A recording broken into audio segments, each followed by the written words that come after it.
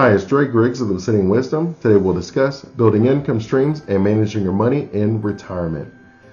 The number one fear that most of us have in retirement is running out of money. We don't want to have to go back to work. We've already withdrawn. In fact, retirement, that's what it means to retire, is to withdraw from.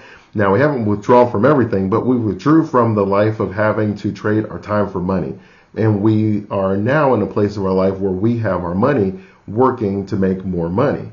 And as a result, we often are not used to that. And the fear and the uncertainty and the overall anxiety around the idea that I don't work for my money, where I have a set amount of money that's coming in and I have to make decisions based off of that. If, if you had a job where you could just work overtime, then you would just work overtime, and you can get more money, where you don't have the, the income levers that you normally can pull.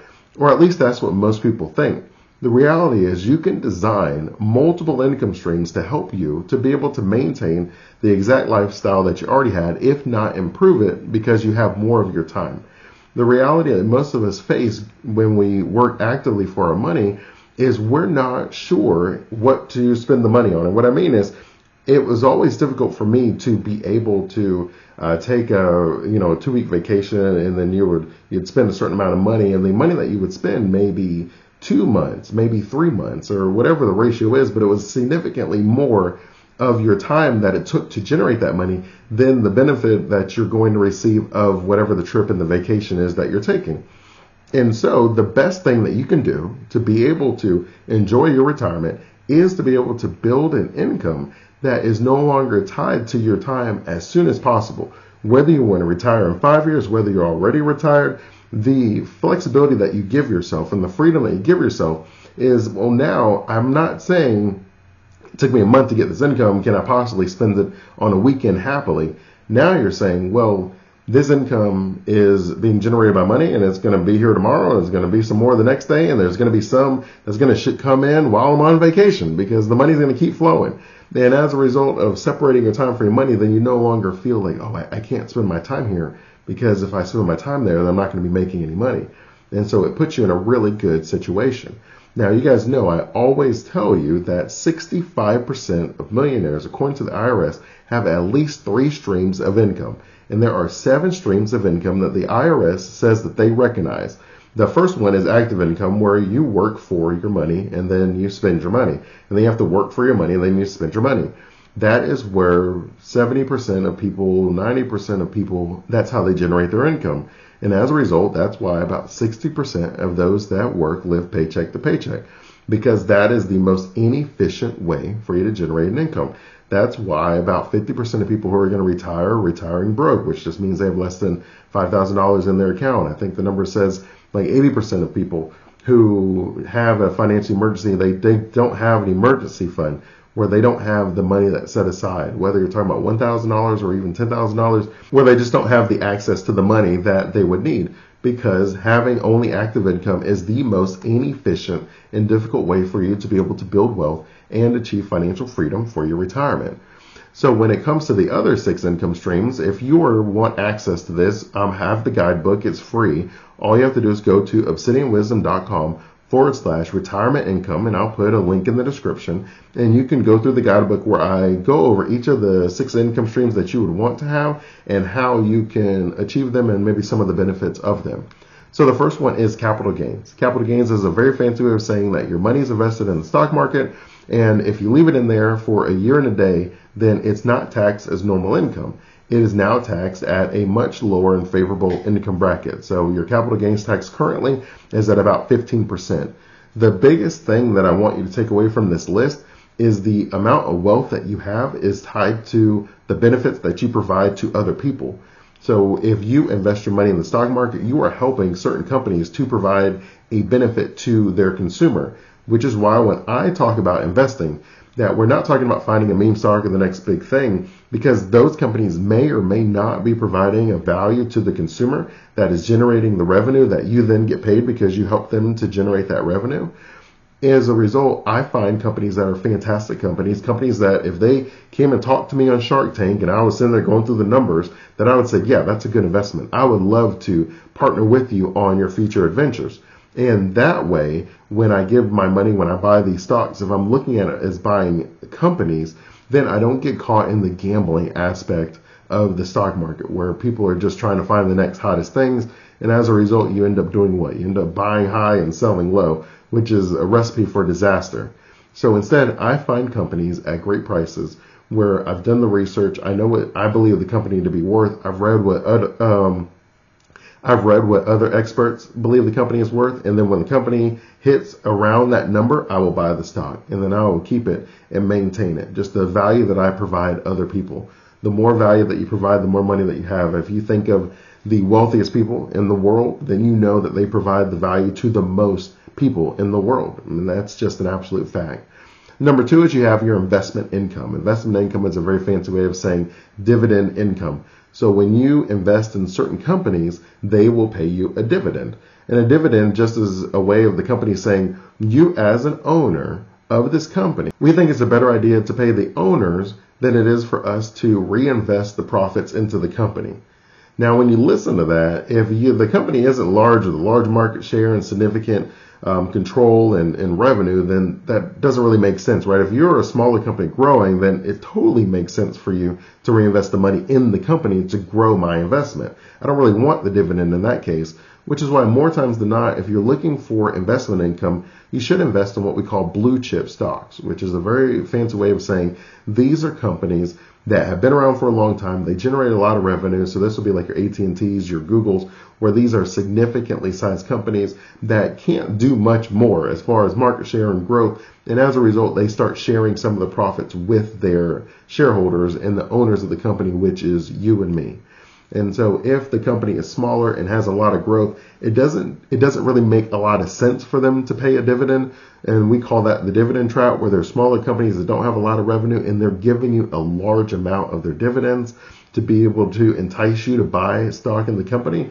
Don't fall into the dividend trap. It has to make sense from a company perspective to give me some of the profits because they're already just doing gangbusters. It just doesn't make sense for them to reinvest the company into the company. If it makes sense for them to reinvest in the company, then you might be falling into a dividend trap, and so you just want to be careful about that.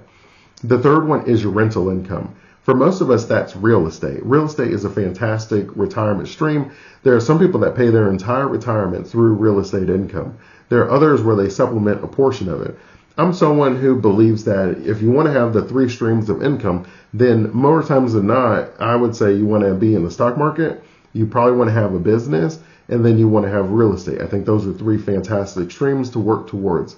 Now, granted, you can have up to all seven streams if you really want to.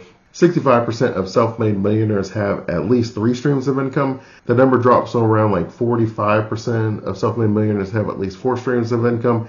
And then it's like 35% of self-made millionaires have at least five streams of income. And so uh, the magic number to me, at least what I've seen, is you want to have at least three streams.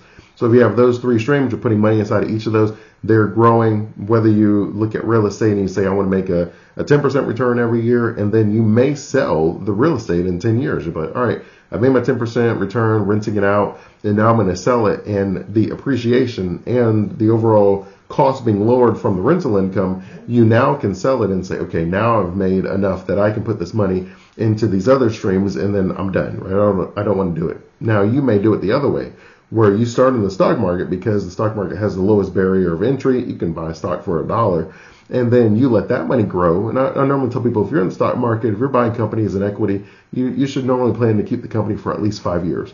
So you have a five year plan, you're investing the money, and then as that money grows, you may take out a portion of that and then invest in real estate. Now, you were saying, well, Dre, how do I know when it's time for me to sell or which stocks to sell? Uh, normally, you would sell if you were able to find a better place to put your money.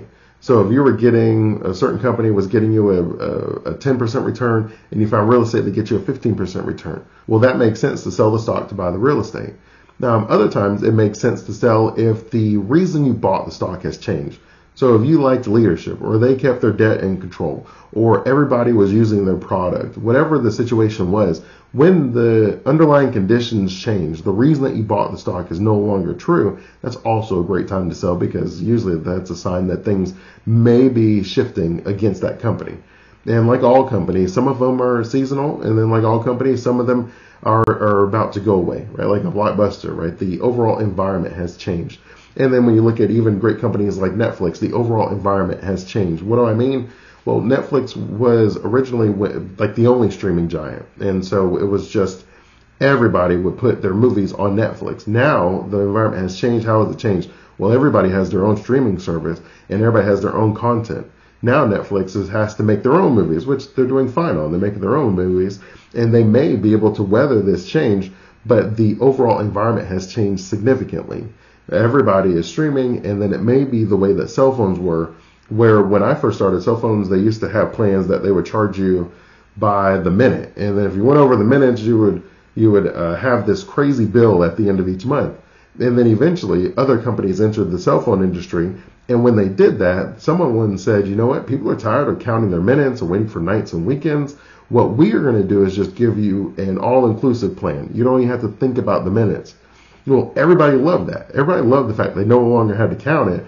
And as a result, all of the companies now generally offer an all inclusive plan where your data, you don't have to count your data, you don't have to count your minutes, and you just can talk on your phone. And so that shift took away a lot of the profits in the cell phone industry because when people entered it, I believe that that's most likely what's going to happen with the streaming industry as well. There are so many streaming options that it just seems like it makes sense that at some point someone's going to do something drastic with the price and then it's going to cause everyone to say, you know, we can't compete the way that we used to because everybody now has three, five, ten different streaming options. And so as those situations change, you may say, you know what, I need to sell some of this stock and then I can buy something else. The fourth one is your royalty income. So for most people, royalty income falls under the business income. So you can write like a book and then your book can sell and you can get speaking engagements or you can have a course, an online course or a membership site. I find that when you talk about royalties in 2023 and beyond, I think the best thing you could do is have some sort of a service based option where you're helping people to get a particular result. So financial planning, I am in a service based business. As a fiduciary financial planner, I will help people, you know, from, from goals to achievement. I'll help people from financial worry to financial confidence. And whether you take a monthly subscription service to where you keep track of all your finances yourself and you use the Wisdometric framework for that, or whether you pay me and I do it for you, or whether you take a, a course and you go to one day live training, however that looks for you, I have different options available. Or even if you just buy some of my books where you're like, you know what, Dre, um, I'm early in the process. I just want to be able to buy the book, or you, some of you would just watch the content. Even YouTube will, will ultimately pay someone for their views that they generate on the website. As a result, these are all, at least not all of them, but some of them would be considered royalty income. Anything that I put the work in early and then I don't have to do anything else. Now, there's other types of royalty income where you invented something and then you do nothing else with that. And I always use the, the example of the super soaker gun. It was like a rocket scientist, which is just kind of a cool thing for me. And he was able to figure out how to do something with the water pressure in a water gun that had never been done before. And he did not open a a water gun manufacturing company. He just simply patented the idea and then he sold the idea to Super Soaker and then Super Soaker sends him a check every single month and they have been for decades. And he said that he's made, it's estimated upwards of 60 to 100 million dollars based off the royalties from that idea. And so you can invent something that you lease out to another company, you can write a book, you can create a course, a membership site, however you want to do it, and you can generate a monthly income that you're able to create that retirement stream and then you're able to maintain it the whole time. There's blogs that charge people, you know, $10 a month. If you look at most companies, the subscription model is basically royalty income. You do something once and then you get paid on it going forward. And it is taking over as far as the economics that people are doing. Right. There was a point in time that I could buy a workout DVD from Beachbody and now they have an online subscription. They're not selling the DVDs anymore. You have to pay monthly and then you stream it in and then they can get the income forever. I used to be able to buy an Adobe DVD and download the program onto my computer and they don't offer those programs anymore. Microsoft is the same way. All you can do now is pay a monthly subscription and then you can stream or download or update whatever the program is monthly. And so as a result, most people are already used to paying things monthly. And so you can build a really nice retirement income that way that is very, very passive. Uh, the fifth one is your interest income. And that's the money that you normally put where you get a set amount of money each month. It's usually a low amount because it's guaranteed. So this could be, you know, the debt where you buy the bonds from the government or a well-respected company because if they're paying you the interest on the debt that you loan them, then you have to invest in something that's going to be around for a while. And you don't want to invest in something that's not. Interest income is normally going to be the lowest form of passive income, right? Even in your savings account at your bank, you, you put the money in, they pay you like 0.001% or something. So you get a small percentage on that. But as a result, it is a set amount. You're, you're not at risk of losing your money. If you have $1,000 in your savings account, you'll probably have $1,000 tomorrow. It's unlikely that something is just going to uh, take away, you know, all the money. You're not going to have $90 in your investment or in your savings account. And as a result, that's why the return is much lower on that because the risk is with the bank. The bank has to take the money and then they have to find a way to generate an income that's higher than the guarantees that they gave you. So whoever has the risk ends up getting the most money. So if you were to think of it from a doctor's perspective, if you worked in an ER versus if you had your own practice, you're going to get paid less in an ER because whoever built that hospital is taking on all the risk. Versus if you had your own practice, then you're taking on all the risk. If you don't have any clients, then you don't eat that day. But if you're an ER, you get paid your salary, so there's there is no risk for you, and your salary is most likely going to be less than if you had your own practice. Same with lawyers if you're a public defender versus you had your own law firm, there's a certain um, there's a certain thing in that guarantees where it lowers the overall money that you can generate because whoever takes the risk gets the opportunity to generate the revenue. Now, whether that makes sense for you in retirement, as far as the risk and the revenue and the risk and reward is concerned, that's something that you probably want to have that one-on-one conversation. But if you just want to be able to take a look at this information, then you definitely can download your free guidebook at obsidianwisdom.com forward slash retirement income, and you can take a look at it and decide for yourself. And then the sixth and final income stream that you can have is just profits from a business. So I tell people all the time, whether you want to be an entrepreneur and have your own business, or whether you want to invest in the stocks and become a business owner, that you want to be able to have some of your income coming from profits from a business. I would tell you that creating your own business will give you access to the royalty income and the overall profits from a business. And because most business owners reinvest in their business going forward, they don't usually have all the other retirement income streams. And so then it becomes an, uh, it becomes a real situation where it may make sense for you to sell the business to fund your retirement. It may make sense for you to structure your, your departure in a way if you want to give it to your kids or something like that to where they give you a certain income every single month going forward. And then when you pass, they just get the business. There's so many ways for you to be able to structure your business to generate you the income that you want for the rest of your life where you don't have to worry about money and it's very resilient. Again, if you want to make sure that you build the proper retirement streams where you manage your money, where you don't feel like back in the day when I used to have to count minutes to make sure I didn't go over, you don't want to have to be counting your money to make sure that you're good, then you want to have at least three streams of income. Because 65% of self-made millionaires have at least three streams of income, it lets me know that if I model this successful, then it increases the likelihood that I won't run out of money in retirement. Now, whether or not I become a millionaire, I don't know. But I at least know that I can build the income streams to where I don't have to think about money. I don't have to worry about money. I don't have to make decisions that are focused and money driven. I can make decisions that are focused on fulfillment and enjoyment, spending time with my family, my friends, my loved ones, and supporting causes that I believe in. If you found value in this video, I ask you to like and subscribe. If you want to keep receiving information on the best ways to manage your retirement, and whether you want to retire at 30 or 130,